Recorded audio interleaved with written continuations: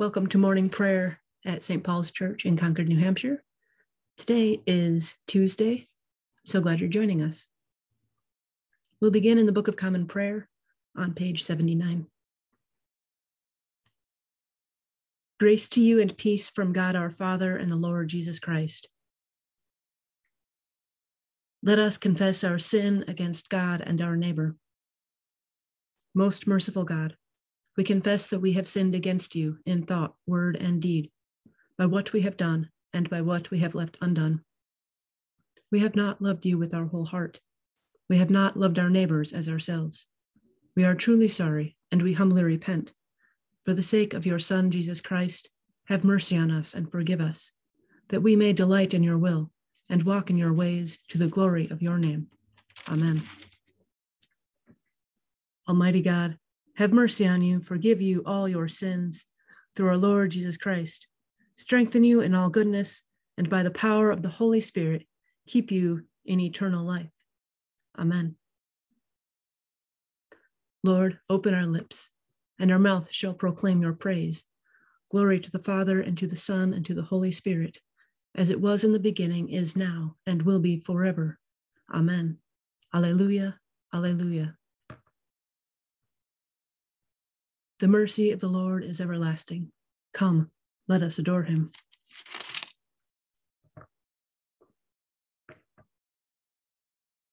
Let's now say together the Venite found on page 82. Come, let us sing to the Lord. Let us shout for joy to the rock of our salvation. Let us come before his presence with thanksgiving and raise a loud shout to him with psalms. For the Lord is a great God and a great king above all gods. In his hand are the caverns of the earth, and the heights of the hills are his also. The sea is his, for he made it, and his hands have molded the dry land. Come, let us bow down and bend the knee, and kneel before the Lord our Maker. For he is our God, and we are the people of his pasture, and the sheep of his hand. Oh, that today you would hearken to his voice. The mercy of the Lord is everlasting. Come, let us adore him.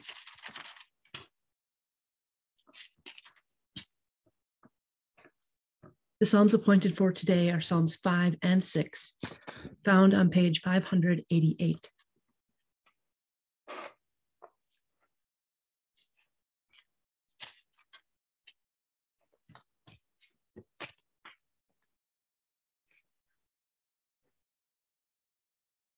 Give ear to my words, O Lord. Consider my meditation. Hearken to my cry for help, my King and my God. For I make my prayer to you. In the morning, the Lord, in the morning, Lord, you hear my voice. Early in the morning, I make my appeal and watch for you. For you are not a God who takes pleasure in wickedness, and evil cannot dwell within you. Braggarts cannot stand in your sight. You hate all those who work wickedness. You destroy those who speak lies. The bloodthirsty and deceitful, O Lord, you abhor. But as for me, through the greatness of your mercy, I will go into your house. I will bow down toward your holy temple in awe of you. Lead me, O Lord, in your righteousness, because of those who lie in wait for me. Make your way straight before me, for there is no truth in their mouth. There is destruction in their heart. Their throat is an open grave. They flatter with their tongue. Declare them guilty, O God. Let them fall because of their schemes. Because of their many transgressions, cast them out, for they have rebelled against you. But all who take refuge in you will be glad. They will sing out their joy forever. You will shelter them so that those who love your name may exult in you. For you, O Lord, will bless the righteous. You will defend them with your favor as with a shield. Lord, do not rebuke me in your anger. Do not punish me in your wrath. Have pity on me, Lord, for I am weak. Heal me, Lord, for my bones are racked. My spirit shakes with terror. How long, O Lord, how long? Turn, O Lord, and deliver me. Save me for your mercy's sake. For in death no one remembers you. And who will give you thanks in the grave? I grow weary because of my groaning. Every night I drench my bed and flood my couch with tears. My eyes are wasted with grief and worn away because of all my enemies. Depart from me, all evildoers, for the Lord has heard the sound of my weeping. The Lord has heard my supplication. The Lord accepts my prayer. All my enemies shall be confounded and quake with fear. They shall turn back and suddenly be put to shame. Glory to the Father, and to the Son, and to the Holy Spirit, as it was in the beginning, is now, and will be forever. Amen.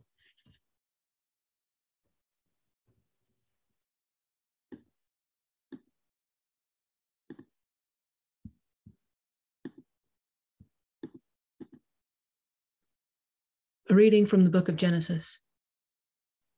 Now the serpent was more crafty than any other wild animal that the Lord God had made. He said to the woman, Did God say you shall not eat from any tree in the garden? The woman said to the serpent, We may eat of the fruit of the trees in the garden. But God said, You shall not eat of the fruit of the tree that is in the middle of the garden, nor shall you touch it, or you shall die. But the serpent said to the woman, You will not die, for God knows that when you eat of it, your eyes will be opened, and you will be like God, knowing good and evil. So when the woman saw that the tree was good for food, and that it was a delight to the eyes, and that the tree was to be desired to make one wise, she took of its fruit and ate, and she also gave some to her husband, who was with her, and he ate. Then the eyes of both were opened, and they knew that they were naked, and they sewed fig leaves together and made loincloths for themselves. They heard the sound of the Lord walking in the garden at the time of the evening breeze. And the man said to and the man and his wife hid themselves from the presence of the Lord God among the trees of the garden. But the Lord God called to the man and said to him, Where are you? He said, I heard the sound of you in the garden, and I was afraid because I was naked, and I hid myself. He said, Who told you that you were naked? Have you eaten from the tree of which I commanded you not to eat? The man said, The woman whom you gave to be with me, she gave me fruit from the tree, and I ate. Then the Lord God said to the woman, What is this that you have done? The woman said, The serpent tricked me, and I ate. The Lord God said to the serpent, Because you have done this, cursed are you among all animals, and among all wild creatures. Upon your belly you shall go, and dust you shall eat all the days of your life. I will put enmity between you and the woman, and between your offspring and hers. He will strike your head, and you will strike his heel. To the woman, he said, I will greatly increase your pangs in childbearing.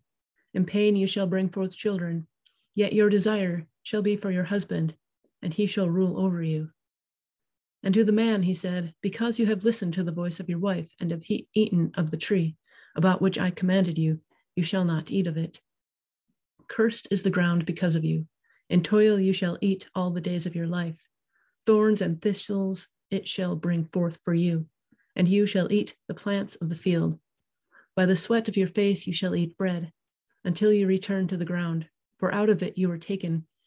You are dust, and to dust you shall return.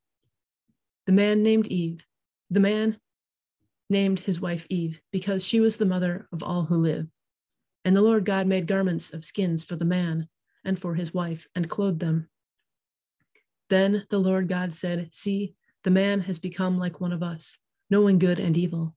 And now he might reach out his hand and take also from the tree of life and eat and live forever. Therefore the Lord God sent him forth from the Garden of Eden to till the ground from which he was taken. He drove out the man, and at the east of the Garden of Eden he placed the cherubim and a sword flaming and turning to guard the way to the tree of life. The word of the Lord. Thanks be to God.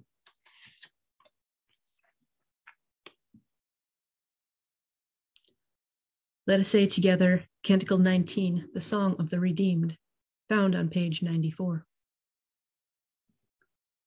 O ruler of the universe, Lord God, great deeds are they that you have done, surpassing human understanding.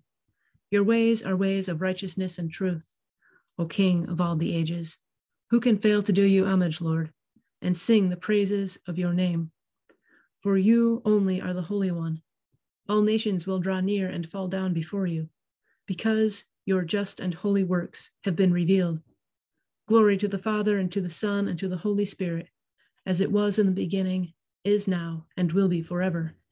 Amen. A reading from the Gospel of John.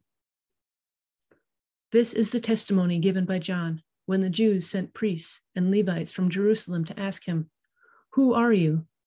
He confessed and did not deny it, but confessed, I am not the Messiah. And they asked him, What then? Are you Elijah? He said, I am not. Are you the prophet? He answered, No. Then they said to him, Who are you? Let us have an answer for those who sent us. What do you say about yourself? He said, I am the voice of one crying out in the wilderness, Make straight the way of the Lord. As the prophet Isaiah said. Now they had been sent from the Pharisees. They asked him, Why then are you baptizing, if you are neither the Messiah, nor Elijah, nor the prophet? John answered him, answered them, I baptize with water. Among you stands one whom you do not know. The one who is coming after me, I am not worthy to, untie the thong of his sandal. This took place in Bethany, across the Jordan where John was baptizing. The word of the Lord. Thanks be to God.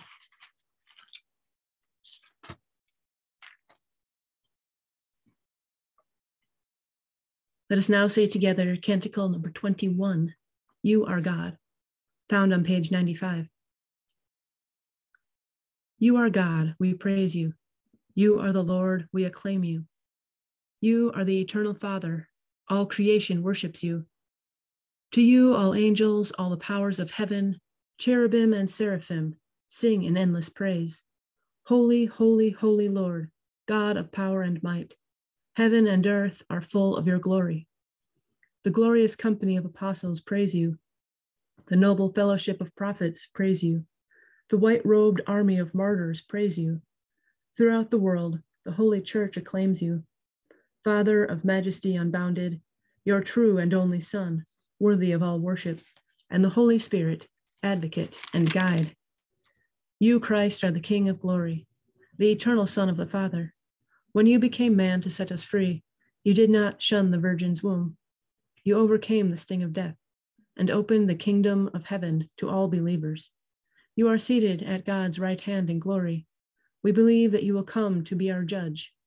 Come then, Lord, and help your people, brought with the, with the price of your own blood, and bring us with your saints to glory everlasting. Let us continue with the Apostles' Creed. I believe in God, the Father Almighty, creator of heaven and earth. I believe in Jesus Christ, his only Son, our Lord. He was conceived by the power of the Holy Spirit and born of the Virgin Mary. He suffered under Pontius Pilate, was crucified, died, and was buried. He descended to the dead. On the third day, he rose again. He ascended into heaven and is seated at the right hand of the Father. He will come again to judge the living and the dead. I believe in the Holy Spirit, the Holy Catholic Church, the communion of saints, the forgiveness of sins, the resurrection of the body, and the life everlasting. Amen. The Lord be with you, and also with you. Let us pray. Our Father in heaven, hallowed be your name. Your kingdom come, your will be done, on earth as in heaven. Give us today our daily bread. Forgive us our sins as we forgive those who sin against us. Save us from the time of trial and deliver us from evil. For the kingdom, the power, and the glory are yours, now and forever. Amen. Show us your mercy, O Lord, and grant us your salvation. Clothe your ministers with righteousness. Let your people sing with joy. Give peace, O Lord, in all the world, for only in you can we live in safety. Lord, keep this nation under your care and guide us in the way of justice and truth. Let your way be known upon earth, your saving health among all nations. Let not the needy, O Lord, be forgotten, nor the hope of the poor be taken away. create in us clean hearts, O God, and sustain us with your Holy Spirit.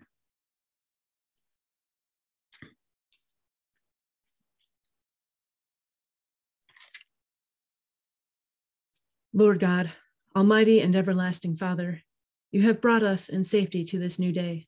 Preserve us with your mighty power, that we may not fall into sin, nor be overcome by adversity. And in all we do, direct us to the fulfilling of your purpose through Jesus Christ our Lord. Amen. O God, you have made of one blood all the peoples of the earth and sent your blessed Son to preach peace to those who are far off and to those who are near. Grant that people everywhere may seek after you and find you, bringing the nations into your fold. Pour out your Spirit upon all flesh and hasten the coming of your kingdom. Through Jesus Christ our Lord. Amen. I now invite your prayers and thanksgivings, either out loud or in the silence of your heart.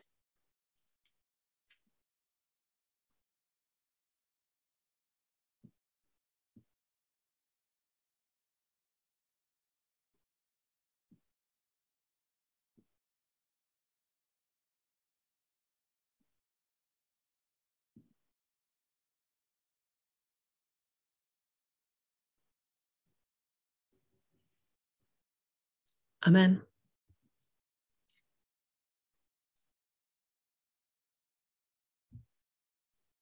Continue now with the general thanksgiving found on page 101. Almighty God, Father of all mercies, we, your unworthy servants, give you humble thanks for all your goodness and loving kindness to us and to all whom you have made. We bless you for our creation, preservation, and all the blessings of this life but above all, for your immeasurable love, in the redemption of the world by our Lord Jesus Christ, for the means of grace and for the hope of glory. And we pray, give us such an awareness of your mercies that with truly thankful hearts we may show forth your praise, not only with our lips, but in our lives, by giving up ourselves to your service and by walking before you in holiness and righteousness all our days. Through Jesus Christ our Lord, to whom, with you and the Holy Spirit, be honor and glory throughout all ages. Amen. Let us bless the Lord.